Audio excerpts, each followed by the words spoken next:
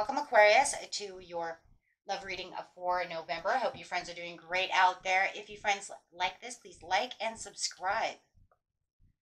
Okay, friends, let's see what's going on with you. This message. Let's see who this person is and what is going on with your person. Whether you know this person, already committed to this person, or it's a new person who's coming in. Direct communication with the Queen of Swords. This person, wow. Okay, so next card coming out is the Wheel of Fortune. Wow. So something is definitely faded over here. It's some kind of change. This is destined to change um, from the ups and downs. They want to tell their truth about the situation, you know, uh, really communicate what is going on within the situation. They can feel the change. Um, and it's crazy because it, that's like what is, you know, what is their feelings for you. They want this to change. They want this opportunity with you. They want the good luck with you. Wow.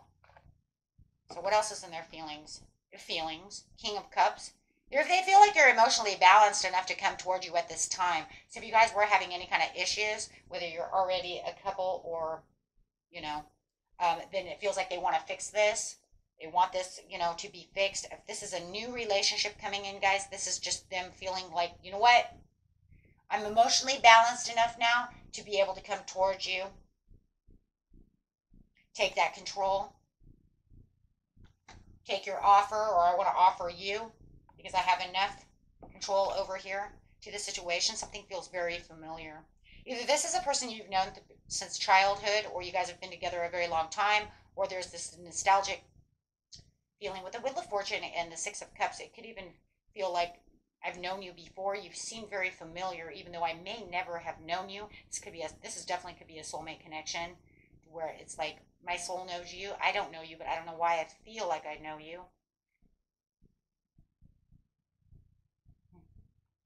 and they feel this is them though they feel like they've known you a long time something about you right you feel very familiar comforting or or you know I've I've loved you since childhood you know since we were kids in college high school or I want to fix this relationship the way it used to be the way we used to feel about each other I want that feeling again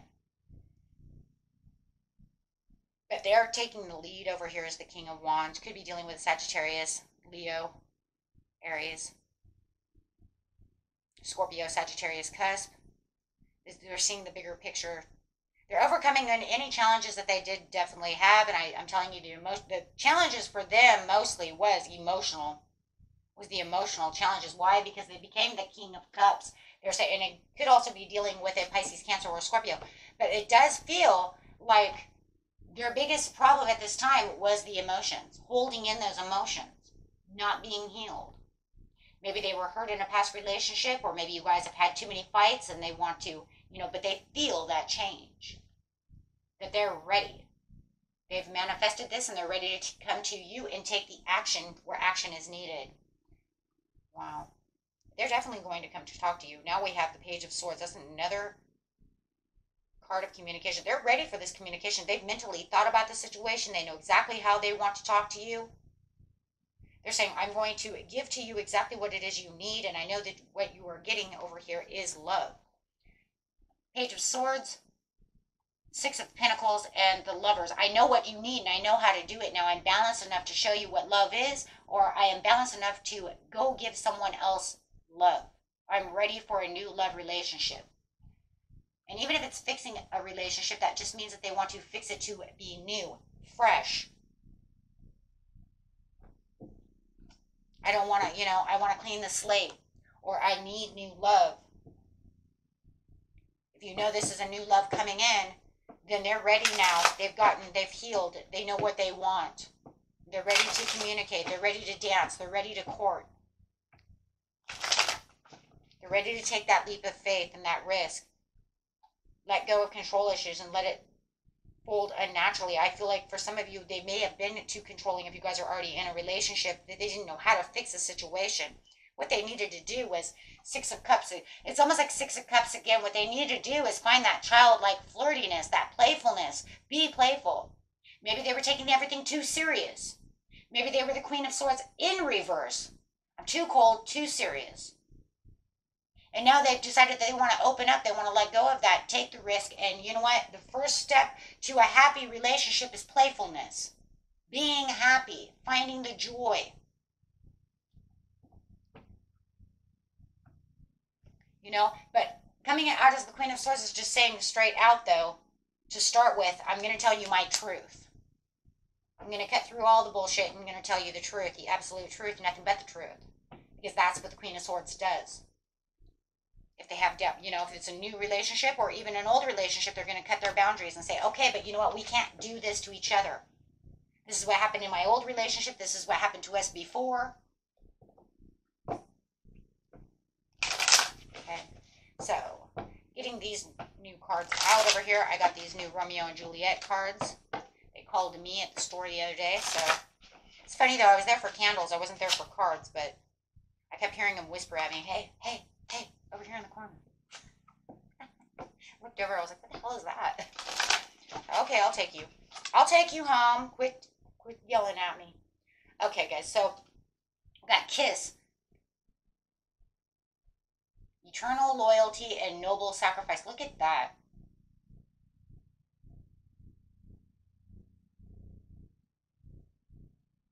That's actually a very beautiful card in its own way. It just feels like I want to kiss you. I want to love you. I want to kiss you. I want you to hold me. I want to hold you. I don't want anything harmful. It feels like they're getting out of something very harmful, very destructive. And if you guys had a very harmful, destructive relationship that you guys are fixing now, they're saying, I don't want any more wrong decisions. I want kisses. I want snuggles. I want love. I don't want this. And if this is a new relationship, this is what they just got out of. No wonder they were in emotional, you know, disharmony, pain. They don't want any more incorrect decisions. They don't want any more hurt. They want, you know, to fix everything. They want something that's loyal. They want they want eternal loyalty and, and love. Like done with it.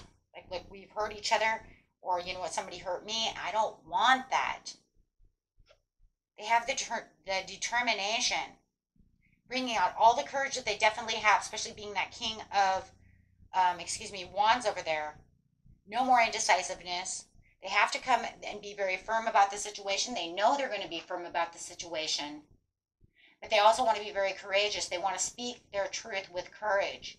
They want you to know no more. Let's love. I love you. I want, you know, but I don't want to hurt. I don't want to hurt you, and I don't want you to, I don't want to hurt you, and I don't want you to hurt me. And no more pain. Okay, let's see what you're saying over here. Clarify on the situation of how they are feeling about the situation for the majority thereof, please.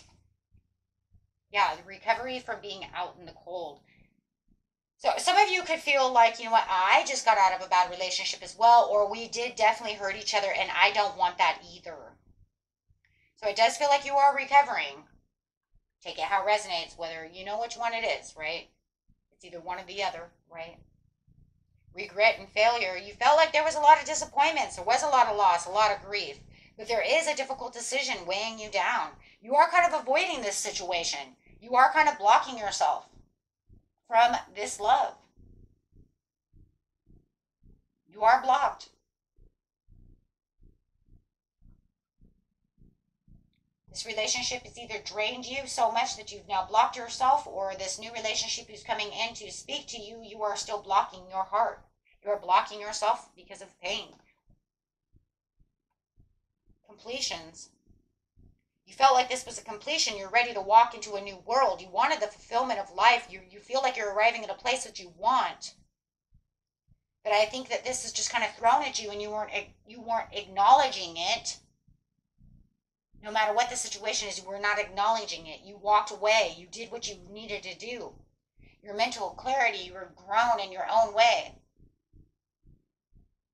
You have your own success. You're worrying about what it is you want to worry about. You're not, you know, you're over here saying, I'm not sure about this.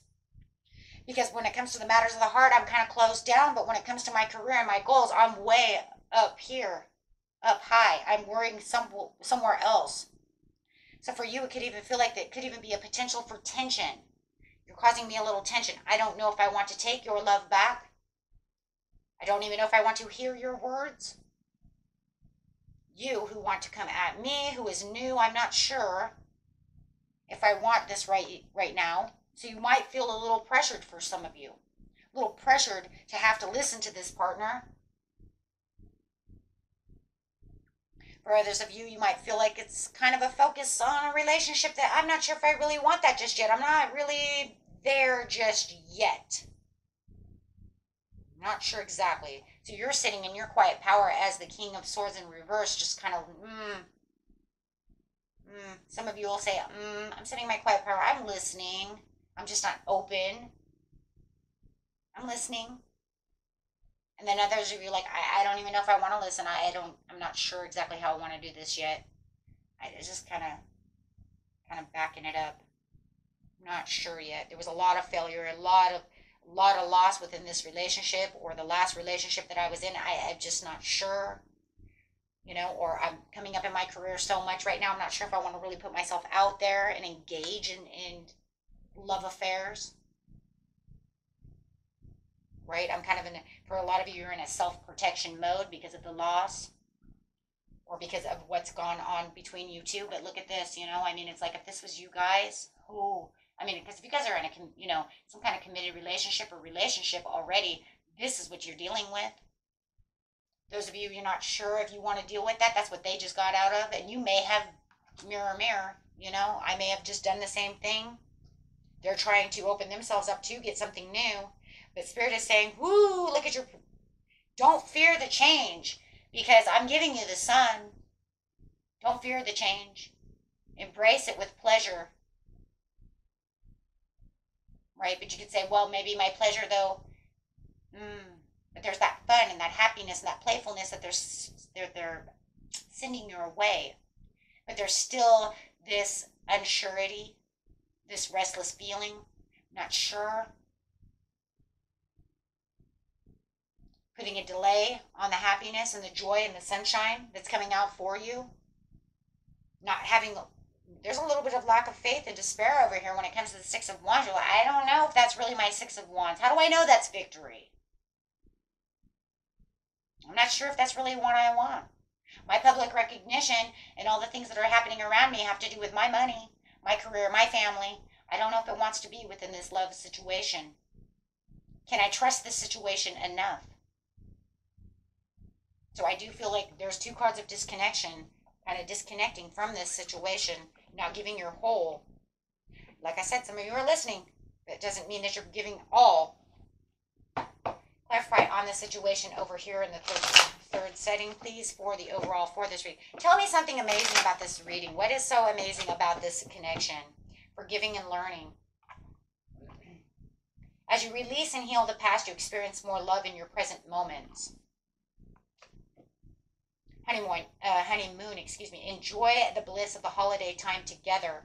So Spirit says, you know, you might want to give it a try. I mean, you do have the Six of Wands, the Sun, and the Star is actually there, my friends. It's just that it's in reverse because you're not giving it enough trust. Right? Retreat. It's time to disconnect from the world so that you can what? Let your friends help you. Let your family help you. Ask for support, ask questions. What do you think? You know, maybe some of your friends will have a, you know, do you think I should give him a try? You know what I mean?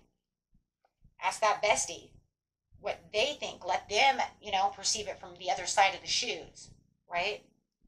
Very soon, clearly decide what you want so it comes to you now. Use that intuition. Listen, you know, meditate. What does your heart say? What does your mind? And don't listen to that little mind. Don't listen to that little mind right? That little mind is full of fears, no trust. That's that, you know, devil on your shoulder, right? Intuition is the angel on your shoulder, and that little voice is your little devil, right? Because that's the one that doesn't allow you to have anything good because it's your overprotective piece, right? It comes in from past memories, short term memories, long term memory, right? It, it's the one that's saying, oh, no, don't do that. They're going to hurt you again. But then that doesn't allow for repentance, that doesn't allow for change, that doesn't allow for growth. Mm. Unless it's just been so many times that you've, right? Now we have to go through, well, wait a minute, it's a general reading, right? Maybe I've done this a thousand times, I ain't doing it again. You see what I'm saying? So take that how it is. I'm just saying, right? For those of you in a new relationship, I would definitely, you know, me personally, I'm not going to, you know, I'm not here to tell you what to do. But me personally, I think that maybe I would think about the situation, right? From a different perspective. Uh, work on your relationship. I also say work on yourself a little bit as well, right? Yeah, love yourself first, free yourself. Yeah look and see what the pros and cons are of the situation. That's what I would do. I would at least listen and see who this like who are you? You know, I might not be dating you, but maybe I want to, you know, get to know you. I want to know who you are if this is a new person. Especially if it's somebody you don't know. You know, I want to know who you are first before I just go, you know, go out to the bar with you and go out and do things with you. Right? I want to know, you know, who are you? Yeah, for a lot of you, it's healing family issues Yeah, see, because it says new love has not stirred your romantic feelings. So this is a new love. It might be what you have to grow into, but it also shows you're also blocked. So, and then for others of you, it's that healing family issues with reconciliation. They want this reconciliation, right? Doesn't mean they're going to get one. Everybody's story is different, but that's what they're looking for, right? Okay yeah, look at that. They want to come in offering you their heart. Take my heart. Take my heart. Okay. That was it for you, my friends. Until next time, peace and love. Bye bye.